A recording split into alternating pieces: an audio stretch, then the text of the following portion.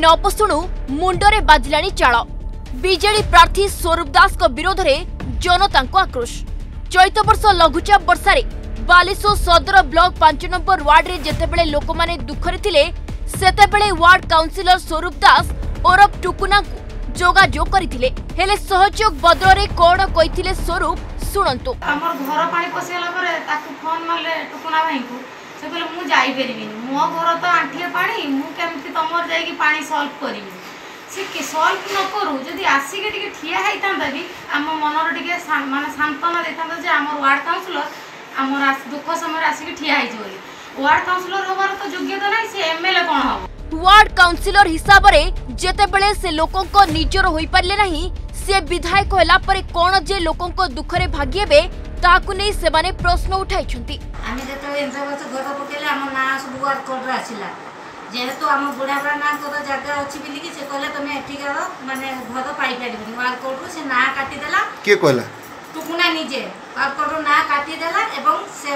form ସବୁ ଚିରିକି ହିଁ ଫିଙ୍ଗିଦେଲା ବାଲେଶ୍ୱର ସଦର ଉପନିର୍ବାଚନ ପାଇଁ ଏବେ ଜମୁଛି ପ୍ରଚାର ମଇଦାନ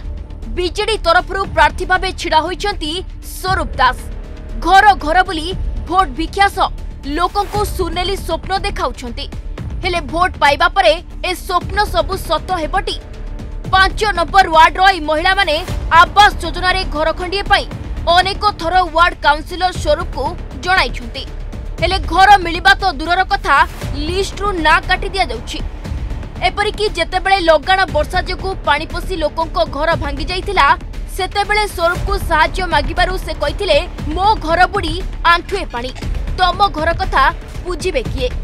ଏପରିକି ଅନେକ ଥର ମାଗିବା ପରେ ବି ପଲିଥିନ୍ ଖଣ୍ଡେ ବି ମିଳିନଥିବା ওয়ার্ড বাসিন্দা অভিযোগ করেছেন আমি যে ঘর যেত ক্যানাল পা ঘর ভিতরে পশিগলা বর্ষা সময় আমি গলে পিকনা হয়ে দেখি কি আম পা পশিগলা আমি যা হলে টিকি করো না সে কহিলা আম ঘর তো পা যাচ্ছে আমি কাহা পাখু যাচ্ছে আমি যে তুম কথা বুঝবা তো এইটা হি আমি কষ্ট লাগুছে আমি চাহুছে যে ଆମ ଦେଶକୁ ଯିଏ ବି ଆସୁ ଯିଏ ବି